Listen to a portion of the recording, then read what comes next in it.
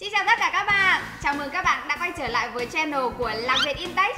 Hôm nay chúng ta sẽ cùng xem những video mà các bạn đã gửi cho bác sĩ nha. Và chủ đề của ngày hôm nay là tự tháo mắc cài tại nhà Cùng bắt đầu thôi. Bạn có cái gì đây? Nhíp à? Tháo được dây cung. Còn có cả kìm tháo mắc cài luôn. Ui, răng của bạn trắng luôn này Ảo thật đấy.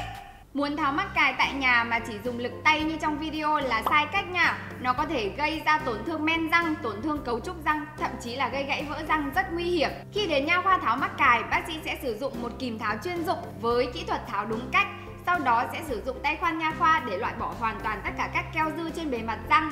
Và cuối cùng là lấy cao răng cho bạn trong các trường hợp cần thiết.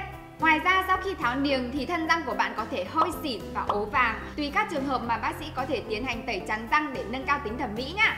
Tiếp tiếp nào các bạn ơi. Xem nào. Cái gì đấy? Dây cung bị tuột ra à? Ôi, vậy thì có một cái kìm lạ thế. Ui trời đất ơi. Rút hẳn dây cung ra của tôi rồi. Oh my god.